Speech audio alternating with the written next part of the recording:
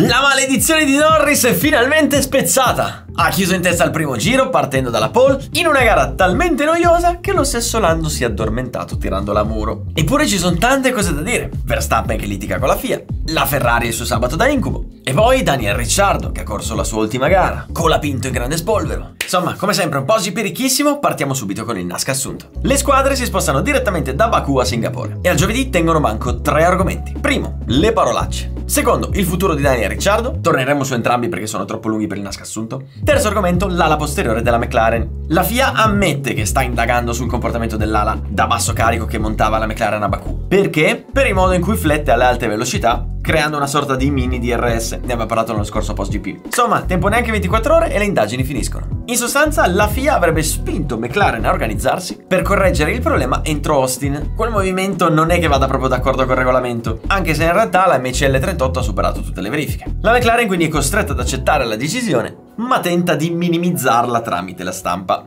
Insomma, passiamo all'attività di pista che come sempre a Singapore è spettacolare. Muretti vicini, scintille, luci, la notte. Al venerdì vanno fortissimi in due, Lando e Charles che si scambiano il primo e il secondo posto nelle sessioni di libera. Sono veloci sul giro secco e sul passo gara, mentre invece i loro compagni di squadra Sainz e Piastri faticano un po' di più. Crisi nera invece per Red Bull e Mercedes. Verstappen quindicesimo, Hamilton poco più avanti. Le due macchine non hanno grip e gli ingegneri sono costretti a inventarsi qualcosa per il sabato. Qualcosa effettivamente arriva e nelle libere 3 Russell è secondo e Verstappen quarto. Entrambi contenti delle modifiche all'assetto fatte durante la notte. Chi vola invece è Lando Norris, primo con mezzo secondo sul secondo. In affanno invece le due Ferrari che non trovano il grip giusto nella simulazione di qualifica con gomme soft. La qualifica di Singapore è uno dei momenti più intensi e spettacolari dell'intera stagione. In Q1 escono le due Sauber, ormai abbonate al fondo della griglia, poi Gasly, Stroll e Ricciardo, tutti deludenti. In Q2 invece la sorpresa... Ne sorpresa. Negativa è Sergio Perez, solo tredicesimo. Mentre le due Williams arrivano tanto così dal Q3. Q3 che inizia con il botto, nel vero senso della parola. Sainz, ancora prima di lanciarsi, va a sbattere all'ultima curva. Gli unici ad aver fatto il tempo sono Piastri e Hulkenberg. Bandiera rossa. Con Verstappen che avrebbe anche lui fatto il tempo, ma l'ha fatto passando di fianco all'incidente, quindi gli tolgono il tempo. Si riparte e così hanno tutti un solo tentativo. Norris mette insieme un giro così e così, che comunque basta per la pole. Lo seguono Verstappen, le due Mercedes e Piastri solo quinto. Sesto un super Nico Hulkenberg, poi Alonso, Tsunoda. Solamente nono Charles Leclerc, a cui viene cancellato un tempo, che comunque era più lento di quello della Haas. Torneremo comunque sulla qualifica Ferrari nel Nascatec. Capitolo gara. A Singapore la strategia solo una sosta è obbligata, perché per fare la sosta ci vogliono 28 secondi e quindi conviene farne una. Tra i primi 10 l'unico che non parte con le medie è Lewis Hamilton, che spera di guadagnare qualcosa in partenza, mettendo le soft. Ma con un Norris in pole position i dilemmi della McLaren sono due. Primo, azzeccare la partenza. Secondo, decidere come gestire la gara. Sì, perché a Singapore negli ultimi anni il leader ha quasi sempre provato a mantenere compatto il gruppo, girando addirittura più piano del solito. Perché? Perché tanto a Singapore non si passa, ma soprattutto chi si trova dietro di lui non potrebbe fare l'undercut perché così facendo rientrerebbe in pista in mezzo al traffico e quindi non gli conviene. Da quest'anno però la FIA ha aggiunto una quarta zona DRS, aumentando così i sorpassi. E quindi prima della gara tanti si chiedono se Norris vorrà spingere oppure no. Ecco, eh, eh, prima però deve partire bene. E incredibilmente succede proprio questo. Maledizione spezzata, Norris parte bene e si mette in testa. E a questo punto scopre le carte, inizia a tirare come un pazzo, guadagnando 20 secondi su Verstappen prima della sosta. Pensate, il vantaggio che ha è talmente grosso che Norris a un certo punto arriva a rilassarsi, sbagliare una staccata, bloccare le gomme e fare un bacetto alle barriere miracolato a non aver spaccato. O meglio, qualcosa spaccato, piccolo danno sull'ala anteriore, nulla di grave, lo richiamano i box, sosta, e il secondo stint diventa una passeggiata, nella quale fa in realtà un altro errore, toccando le barriere proprio dove Russell l'anno scorso era esploso. Miracolato ancora una volta, porta la macchina a casa e vince una gara stratosferica. Dietro di lui, secondo Verstappen, che controlla senza troppi problemi l'arrivo di Piastri. Certo, la corsa di Oscar è un po' deludente visto quello che ha fatto Norris, però considerando che partiva quinto e ha avuto le Mercedes davanti tutto il tempo, ha fatto il massimo che poteva fare. Bene, e le due Ferrari? Ecco, la gara di Leclerc e Sainz è stata una gara frustrante. Carlos perde due posizioni in partenza e si trova per tutto il primo stint dodicesimo bloccato dietro a Tsunoda. Per toglierlo di lì lo chiamano in box prestissimo, facendogli fare un extra mega giga undercut su tutto il gruppo centrale, al punto che da dodicesimo chiuderà la gara settimo. Peccato che però alla fine non c'aveva più gomma. Leclerc invece si trova bloccato tantissimo tempo dietro Alonso e Hulkenberg. Quando finalmente ha un po' di aria libera, Charles allunga lo stint con le medie, tiene dietro Russell che ha fatto già il pit stop, rientra ai box poco dopo la McLaren e con le hard vola. Supera prima Alonso, poi Sainz, gira due secondi al giro più forte di Hamilton, anche lui è box prestissimo per togliere il soft.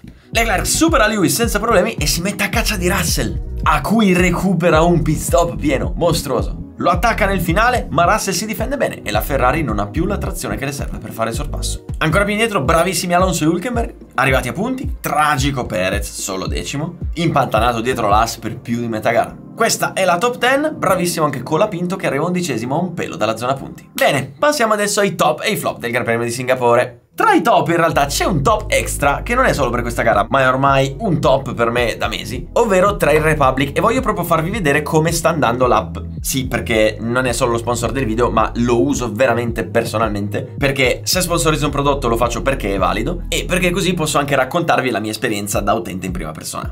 Allora, il conto che utilizzo è lo stesso che, che, che utilizzereste voi, identico. Scusate se è in lingua inglese, ma io tutti i dispositivi che ho li tengo in inglese per comodità, ovviamente c'è anche in italiano. Ora, se andiamo su Cash si può vedere la la liquidità che ho sul conto, che funziona esattamente come un conto di deposito svincolato. Ecco, io praticamente ho preso la maggior parte dei soldi che avevo sul conto italiano, che mi servono per la spesa, le emergenze, le cose, insomma, e l'ho messa quasi tutta qua sopra.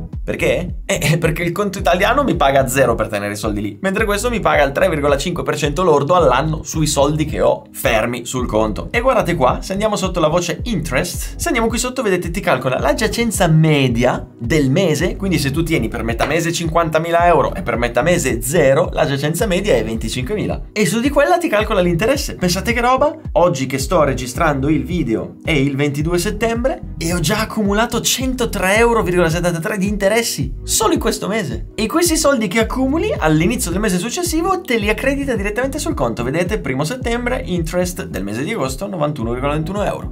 Che figata! Come c'è scritto sul loro sito, è un conto europeo e quindi tutti i soldi sul conto sono legalmente protetti fino a 100.000 euro. Ma non solo, sulle spese che faccio direttamente con la carta, che le scala direttamente da qui, quindi senza dover ricaricare la carta, ho addirittura il saveback dell'1%, che viene reinvestito automaticamente su un piano d'accumulo. In questo caso ho scelto l'SP500, ma ognuno può scegliere quello che vuole. Per chi vuole poi c'è anche la funzione di investimenti che si ottiene cliccando qui. Mi sta andando discretamente bene. Come vedete ho iniziato a investire da agosto, siamo a un più 7%. Non vi voglio far vedere nel dettaglio le azioni perché non sono un consulente finanziario, voglio attribuire questo risultato semplicemente alla fortuna e non voglio che le mie operazioni siano prese come esempio perché non lo sono. Comunque, non so, cerchiamo un'azione dai Ferrari. Come vedete l'interfaccia è semplice, graficamente intuitiva, essenziale, ci sono migliaia di ETF, azioni e piani d'accumulo. Mi raccomando, investire comporta rischi, se volete farlo fatevi aiutare da un consulente finanziario. Ok, ma quanto costa il conto, la carta? Se lo fai virtuale, gratuito. Se lo fai con la carta fisica base, 5 euro una sola volta e se lo fai con la carta bella, quella di metallo, 50 euro una sola volta. Prelevi gratuiti e limitati in tutto il mondo a partire da 100 euro, commissioni solo sulla compravendita di titoli, mentre i piani d'accumulo sono sempre gratuiti. Per il resto il conto è gratis, anzi ti pagano pure gli interessi per tenere i soldi lì. Tutte le info le trovate qui sotto nel link in descrizione. Bene, parlando di Formula 1 vediamo i top di questo weekend. Primo top, Lando Norris. Norris ha stradominato il weekend di Singapore, c'è poco da dire. Una volta che Leclerc era fuori dai giochi, nessuno poteva attaccarlo. E qui si è visto qualcosa che succede molto raramente. Il leader che va così tanto forte e ha così tanto vantaggio che a un certo punto cala la concentrazione, sbaglia e rischia di schiantarsi. Gli è andata di lusso e quella cosa la capisco perché mi succedeva tanto a 18 anni quando facevo le gare al simulatore. Mi ricordo una gara dove ero primo con 40 secondi di vantaggio, mi sono distratto, l'ho schiantata e ho perso la gara. Ecco, su Norris in realtà ho un piccolo appunto Forse spingere a fuoco nelle libere 3 e dare mezzo secondo a tutti mm, non è forse il modo migliore per approcciare le qualifiche. Scopri le carte, ti metti addosso pressione. Ora, tutte queste cose sono piccoli dettagli, perché Norris a Singapore è stato mostruoso. E finalmente ha spezzato la maledizione della partenza. Bravo Norris. Secondo top del weekend, seppur non da vincitore, Max Verstappen. Sì, perché purtroppo per Lando insieme a lui corre un certo Max Verstappen. E per adesso parliamo solo della pista, il resto lo vediamo dopo. Verstappen a Singapore è stato perfetto, non poteva fare di più.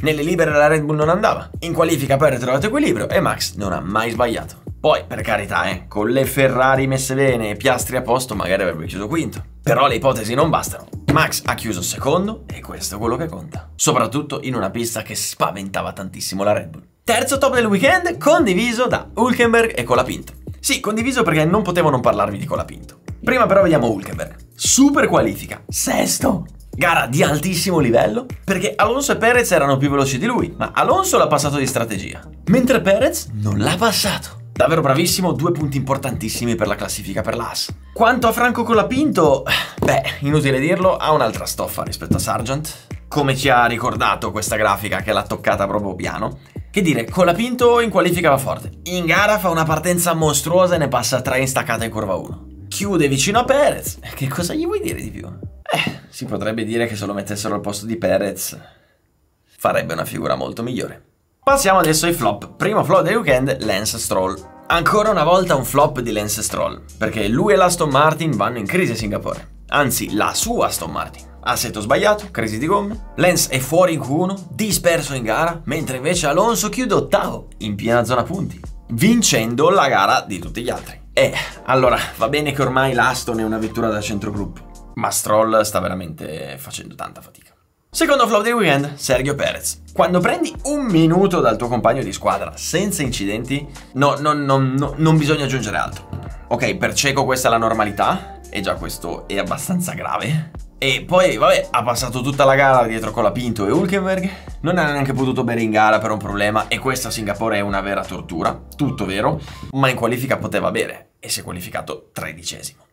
Terzo flop del weekend, a malincuore Daniel Ricciardo. Stringe il cuore a vedere quell'intervista di Dani dopo la gara, dove si emoziona, quasi piange, non gli escono le parole. Già da metà settimana scorsa circolavano delle voci su Daniel. Sì, perché a quanto pare il contratto di Lawson obbliga Red Bull a confermarlo entro il 30 settembre, altrimenti lui è libero di fare quello che vuole. Non si capisce però se Lawson debba già salire in macchina da dopo il 30 settembre oppure se si parlerà del 2025. Fatto sta che Marco e Horner avrebbero deciso di promuoverlo già da Austin. Il motivo è semplice. Ricciardo ha ottenuto il volante della V-Carb solo per dimostrare di poter sostituire Perez in Red Bull. Dani è andato troppo piano e quindi lascia spazio a Lawson. Anche per capire se potrà essere Lawson a sostituire Perez. Capite quindi che di fronte a una notizia del genere Dani è la corsa a Singapore con un grande peso sulle spalle. E questo peso non l'ha retto. Male in qualifica, malissimo in gara. Peccato che la carriera finisca così. Avrebbe meritato di essere festeggiato ad Abu Dhabi. In fondo, se ci pensate, è stato un campione tra i piloti più forti al mondo quando andava forte. Eh, il problema è che quando andava piano, andava molto piano. Nasca Junior, a Singapore ha corso solo la Formula 1 Academy. Dominio assoluto di Abby Pulling dal vivaio alpin, prima nelle libere, nelle due qualifiche, nelle due gare. Molto buono il weekend di Maya Voigt dell'Accademia Ferrari, due volte seconda, con Dorian Pin dell'Accademia Mercedes, terza. Passiamo adesso al Nasca Tech, interamente dedicato alla Ferrari.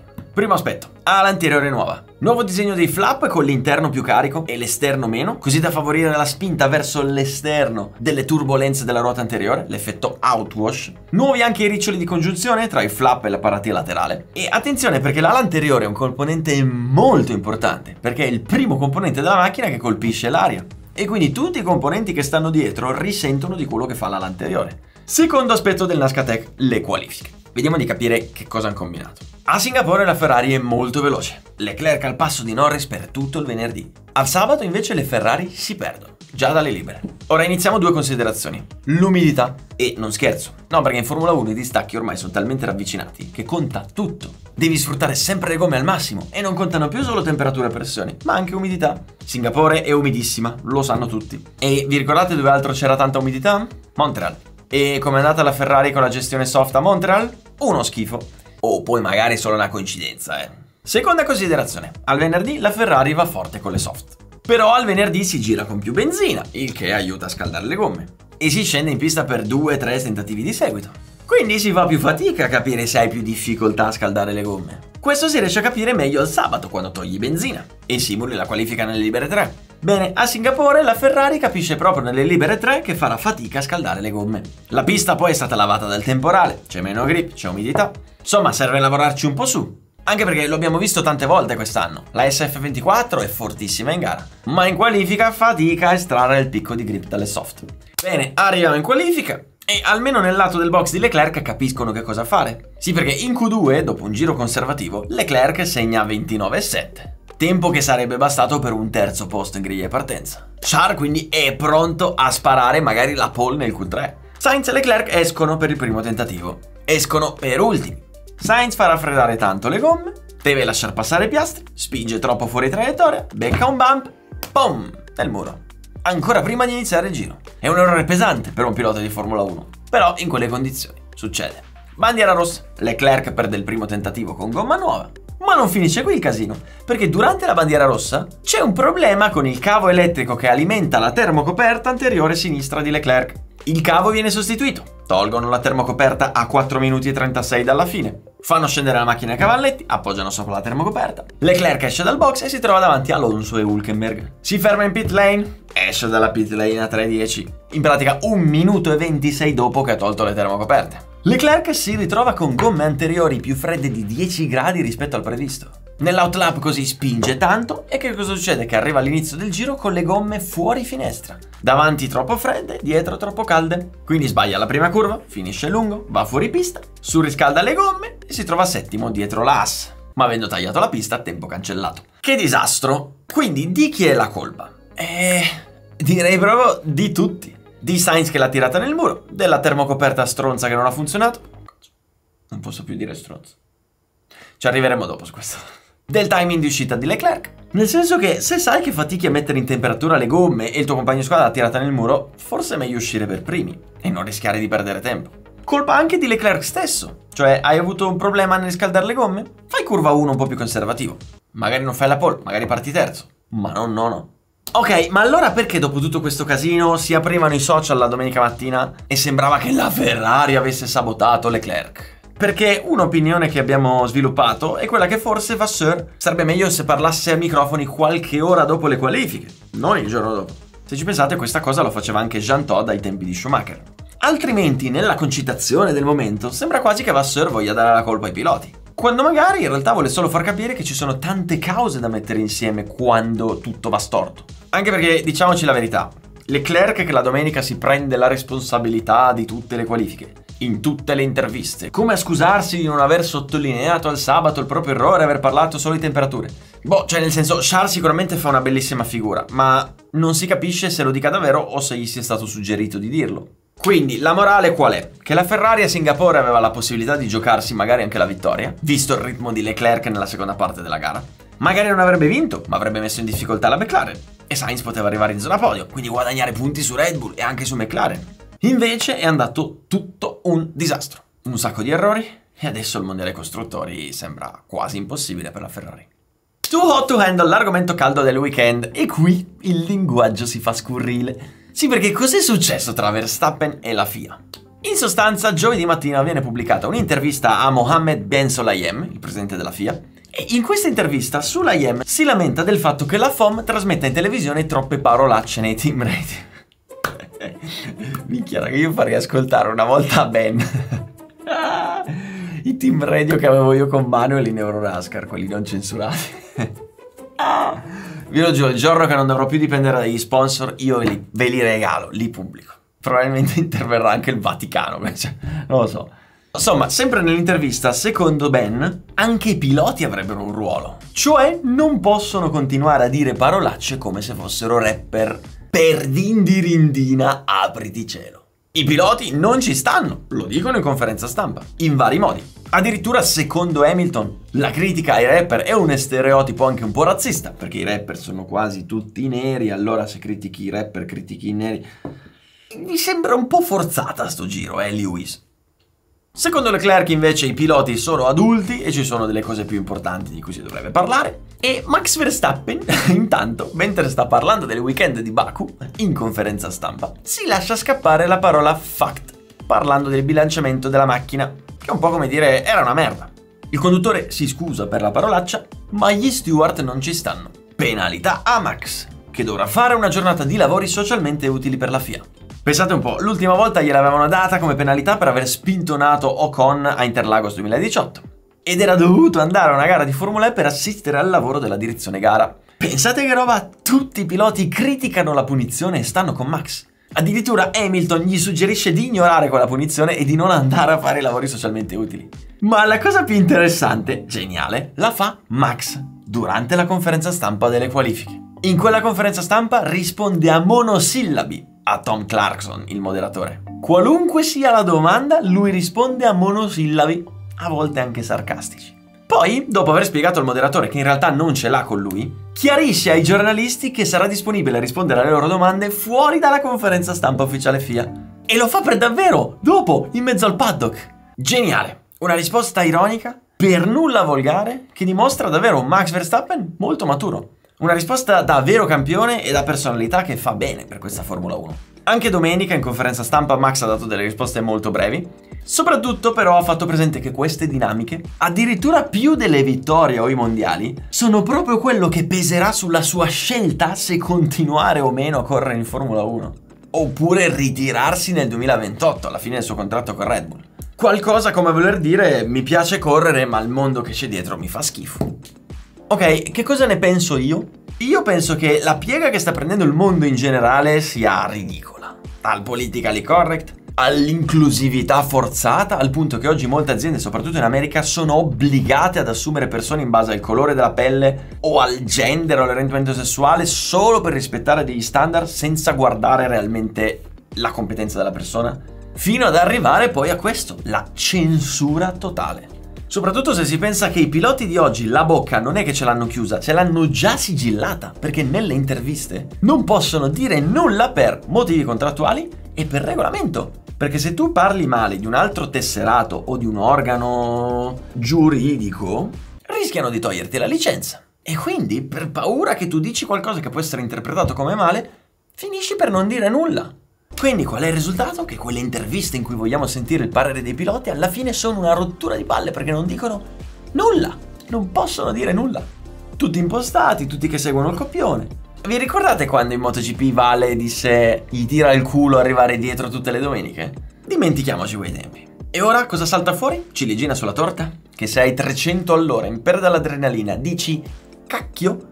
Penalità Vabbè, allora, facciamo una roba a sto punto. Scriviamo un copione a ogni pilota e facciamoglielo leggere nelle interviste. Mentre invece nei team radio mettiamo un doppiatore, magari un attore, che non so, ci avrà il suo bel copione e dirà per dindirindina, il pilota davanti va molto veloce. Facciamo un bel programma per bambini, lo chiamiamo la Melevisione. Passiamo ai Nascavoti, va che è meglio. Magnussen 5,5, rientro soft. Hulkenberg 9, sbrilluccicante. Giù 5,5, galleggia. Bottas 5, anche lui. Ricciardo 5, meritava un finale diverso. Tsunoda 7, male al via. Colapinto 8, aggressivo. Albon 7, sverniciato. Ocon 6,5, volenteroso. Gasly 5, in crisi. Stroll 5, mi sa che non c'ha più voglia.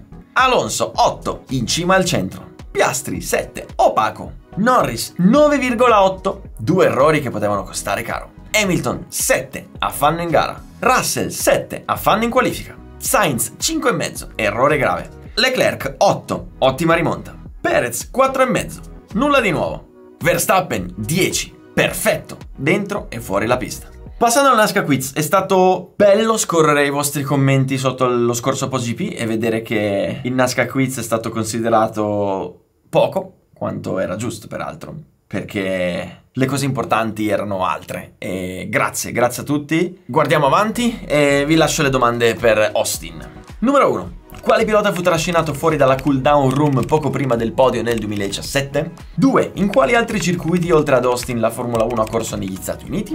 3. Perché viene ricordata l'edizione del 2002 del Gran Premio degli Stati Uniti?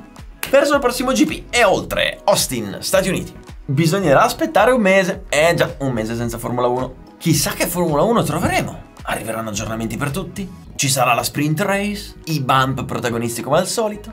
Insomma, ci sarà da divertirsi.